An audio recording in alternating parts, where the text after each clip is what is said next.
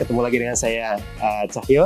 Kali ini kita akan review salah satu rumah klien kami yang baru saja ditinggali dua hari lalu.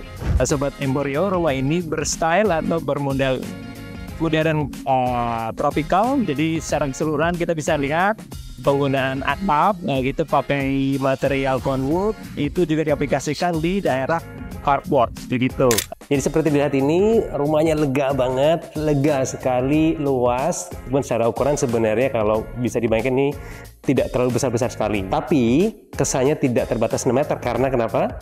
Karena ada void di atas. Jadi void ini adalah kita bilang mungkin wow factornya dalam rumah ya. Jadi ini menjadi focal point di dalam rumah. Ruang makan sendiri konsepnya uh, open space terhadap living area. Uh, di atasnya kita kasih chandelier yang pas. Penting sekali menaruh chandelier dalam ruang makan karena konsepnya ruang makan adalah makanannya yang harus terhighlight oleh lampu itu sendiri.